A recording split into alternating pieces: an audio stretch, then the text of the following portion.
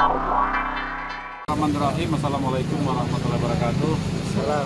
Pada sore yang panas sekali hari ini, semua kita duduk di tengah di pinggir jalan dalam rangka baru selesai melaksanakan kunjungan tentang perencanaan pembangunan penambahan lajur jalan yang ada di jalan antara Batu Ampar, Timbang Polsek sampai ke Indomobil sampai masuk ke Makobar keluarnya itu sendiri dan kita sudah meninjau pelabuhan sendiri.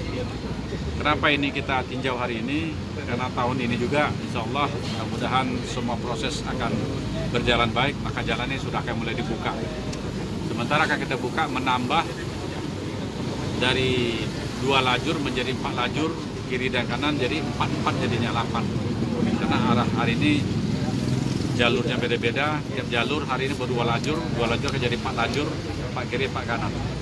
Dan seluruh simpang jalan ini akan kita buka seluruh simpang jalan akan kita buka supaya nantinya keluar masuk barang atau kendaraan berat termasuk trailer di pelabuhan Batu Ampar.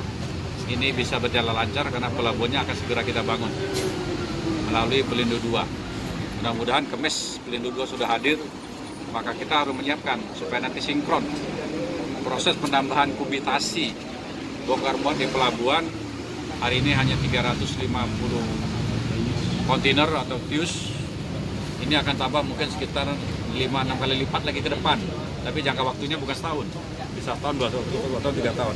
Maka untuk meningkatkan itu, maka BPBT harus menyiapkan infrastruktur untuk menunjang lancarnya bongkar muat dan barang-barang yang dibawa keluar dari Batu Ampar ini sendiri. Kalau di uh, pelebaran jalan berarti ada yang digeser Pak? Kayak Kapolsek, Kapolsek atau... Iya.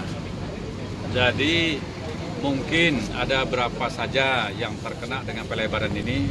Tadi kita sudah ke Polsek sendiri, saya sudah ketemu Kapolsek, dan kita tadi ke air airnya tidak ada, akan kita sampaikan bahwa pelebaran yang akan kita lakukan pada tahun ini, dan kita akan menyiapkan untuk pemindahan daripada Polsek ini sendiri. Tapi catatan ya, ini saya belum duduk sama Pak Kapolres dan Pak Kapolda. Saya belum duduk dengan Pak Kapolres dan Pak Kapolda. Saya akan hadap Pak Kapolda dan saya akan ngomong ke Pak Kapolres kondisi yang akan kami lakukan ini. Tentu kita minta izin dari restu beliau. Tentu kita harus minta izin restu beliau untuk proses pelebaran jalan ini. Kalau kantor pelabuhannya? Pelabuhan milik BP Batam itu tidak kena, kan di dalam. Di Pelabuhan yang di luar kan? Enggak, yang di simpang. Oh iya, nanti, Lampu nanti. Pak Imam itu saya tak tahu.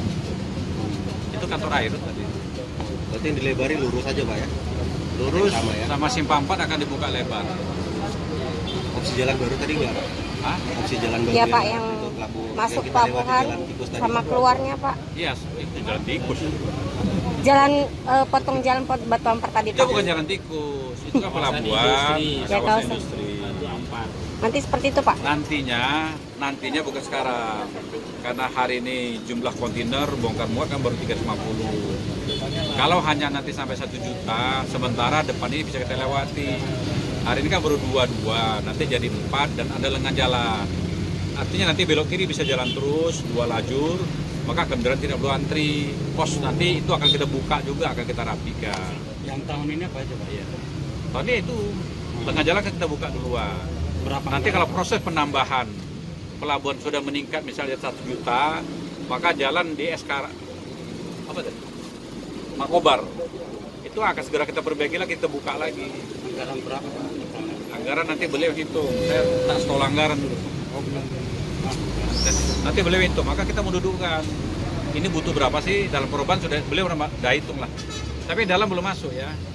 Dalam belum masuk yang keluar itu. Jadi kalau dalam pelabuhan sendiri nanti itu Lindo 2. Karena hari Kamis mau datang nih. Mau kita dudukkan. Mana yang mau, kamu mau bangun duluan nih? Karena kita minta nanti betul-betul kerennya itu keren permanen. Tidak lagi keren manual yang kayak sekarang ini. Termasuk tadi kita melihat untuk proses berlabuhnya kapal kapal pelni, kapal apa namanya? Kelut. Kelut. Supaya nanti kelut dia masuk tidak seperti sekarang ini. Maka kita minta yang sebelah sana yang punya swasta cepat dibangun nanti hubungan antara swasta sama pelni lah kita bantu lah untuk berlabuh di sana dan kita minta ba- bangun juga gedung untuk menampung penumpang itu Ntar jadi ini nggak dipindah ke Sekupang Pak? ya Building depan Sepertinya mungkin di sini. Oh, Karena sini orangnya sudah sanggup bangun yang punya itu. Jadi kita hanya nanti mungkin pendalaman aluran apa namanya dre- dredging, dredging, dredging itu. berapa dalam itu? Sesuai kebutuhan kapal itu. Nanti saya sekolah dulu itu ya. Pak untuk pengecekan yang di BC tadi Pak itu gimana Pak? Yang di pintu masuk yang Nah, buat antri Pak? Tadi saya lihat ada cek. Nanti kita akan koordinasi sama Becukai. Karena kapan kita suruh kita minta agar pakai sistem semua, sistem komputeris. Jadi barang masuk dari pelabuhan dia sudah masukkan dan sudah ketahuan. Jadi dengan sistem alat saja dia sudah tahu. Kita akan bantu nanti. Supaya barang keluar masuk bisa cepat tidak ter- tertahan lagi. Target kapan mulai pelebarannya Pak? Nanti beliau, setelah ini nanti beliau ya.